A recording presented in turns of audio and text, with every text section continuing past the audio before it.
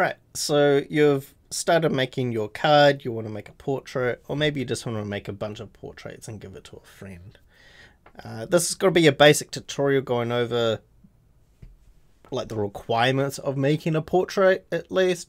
I am by no means an artist. I usually use other people's work or just slightly modify existing art. Uh, so if you are looking for advice on how to make good looking cards or how to uh, copy something, trust me, I'm I'm not at all the right person to talk to. But the Inscryption Modding Discord, there will be people in there that have advice uh, that's much better than anything that I can provide. Uh, right, so we're going to be taking a look at making our Urayuli Ling uh, portrait to something really basic. Uh, so I've got the actual Urayuli art here from the game along with the emission uh, just to make the eyes glow. But if we were to actually overlay, you can see that it's just white. Uh, that's all it is. And then in the game, it changes it to red or green or whatever color it, it needs.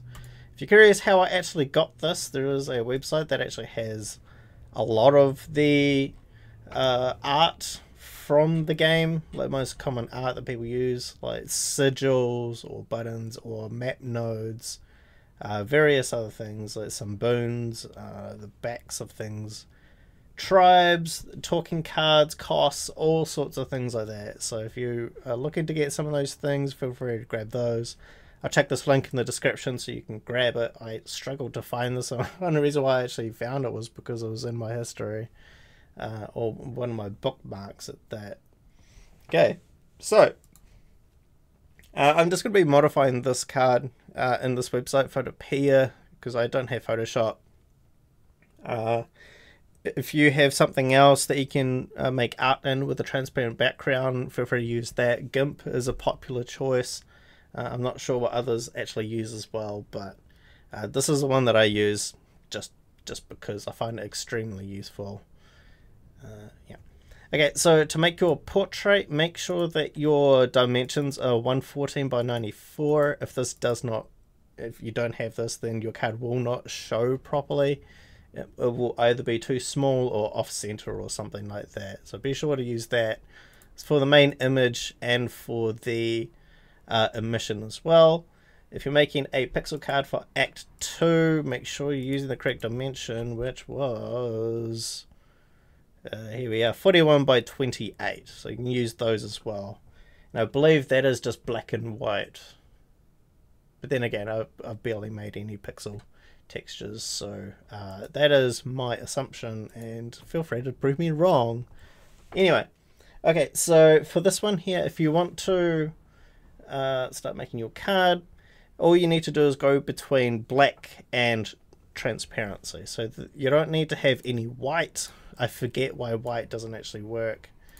Uh, it's all going mainly from black.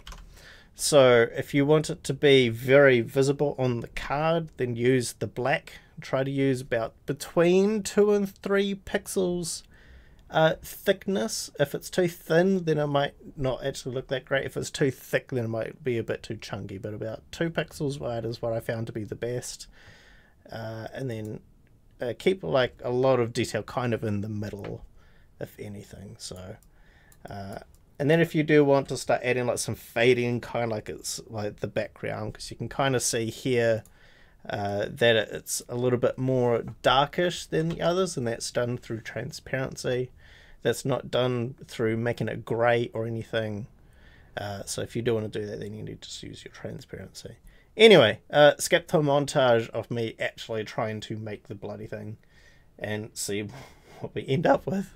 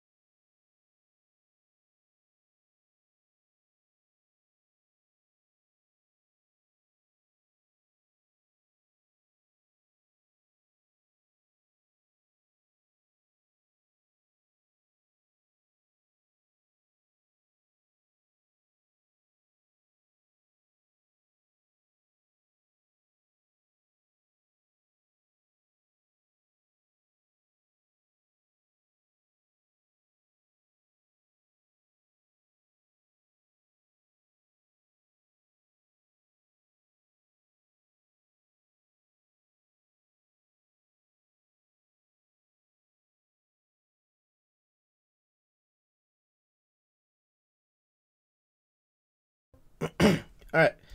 I think that's it for my uh, beautiful modification of just the face, nothing else. uh, but I also made the uh, emission there just by whiting out the middle. Uh, and now we can go ahead and save that as our portrait Urayuli. Oh no, I'm going to save that as the same thing that we put in here, right? Which is that. Save it without the uh, emission. And then we can do the same thing for the uh, emission. Put that in there too. Put PNG. Fantastic. Okay, so now we want to grab those two images. We want to chuck it into our mod as well, so that way they are in here. Oopsie, that there has the wrong name. It shouldn't be .png, PNG, it should just be .png. Great. And now, to actually test our mod, what we're going to be doing is uh, make sure that you have JSON Loader mod installed and the debug menu so that way we can just give it to ourselves and actually see if it's working or not. And then just click modded. Pew, pew, pew, pew, pew, pew. Pew, pew, pew, pew, pew. Cool montage. Yeah, let's start a new run just to make sure that I haven't broken anything else in the background. Yeah, yeah, thank you, Leshy. And now we're going to press a little uh, squiggly thing on our keyboard just in case this thing doesn't come up so that way you can turn it on and off. Uh, let's open that up and go to our uh, deck editor. Thank you. Bring that back. Add card, and we want to look for our uh, Urayuli Ling. And there we go. So we can see our little card here. So we just click that. You can see a little portrait and the fledgling thing. So we should be able to come back here, and there we go. We can see that we have our Tutu uh, Urayuli Ling with my beautiful art there. Uh, so now what we can do is I want to just skip straight to a fight. So let's go activate all nodes and let's just go straight to there.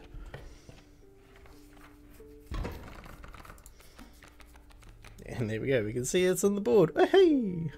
So what we can actually do, this actually worked out really well. Thanks for the tadpole. So let's do that, sacrifice these two, chuck them in, ring the bell. Let's hide that debug menu just so that way it doesn't look as cruddy. Oh no. Hey, look, now we've got ourselves an Uraruri on the board. Look at that. Alright. Uh, cool. Thanks for watching those videos. Uh, hope you have fun making some cars. Be sure to trial around, play a bunch of stuff, play everyone's mods. Uh, and then if you do get a little bit more stuck and want a bit more information, there is the modding Discord. Uh, if you also go to this plugins folder where you made your mod, um, um, if you come into here, you go and find JSON Loader, which I think is made by Mad. Uh, just a mad person. Here we go. A JSON card loader. Go into that one. There'll be examples, cards, and a bunch of stuff in here. There's also some other artwork. So you can try making some other stuff too. Like you make yourself some masks as well if you like. Uh, and yeah, have have a lot of fun making some cards for your friends. And if you do make some really cool stuff, show them off in the Discord, upload them to Thunderstore. And yeah, have a good time. Peace.